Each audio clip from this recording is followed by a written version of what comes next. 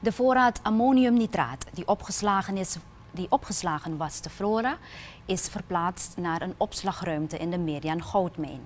Daar heeft het ministerie van Defensie gisteren voor gezorgd. Minister Krishna Mathura zegt dat Defensie sinds de explosie in Libanon eerder dit jaar heeft gevraagd om een ander opslagplek te zoeken voor de explosieve stoffen. De bezorgdheid van de buurtbewoners heeft er ook toe bijgedragen dat dit proces is versneld. De president had een commissie ingesteld die belast was met het inventariseren van de explosieve stoffen.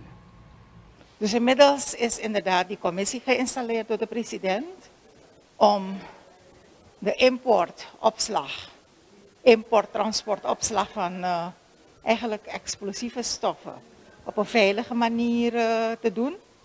En die commissie is nog steeds aan het werk. En de tweede taak van die commissie was ook dus van ons, was om te kijken van wat er was bij ons.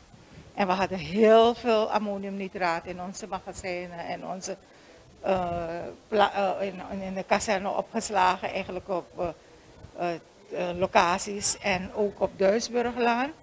En dat hebben we besloten in overleg met alle partijen om het te verwijderen en een veilige plek te zoeken. En dat is gebeurd.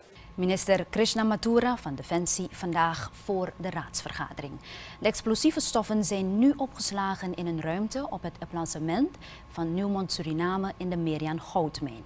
De opslagplaats ligt 66 kilometer verwijderd van Mungo.